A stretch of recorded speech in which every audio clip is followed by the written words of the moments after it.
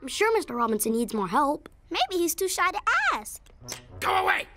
He hides it well, but I can feel he needs us. Go away! Go away! Go away! Now that is a cry for help.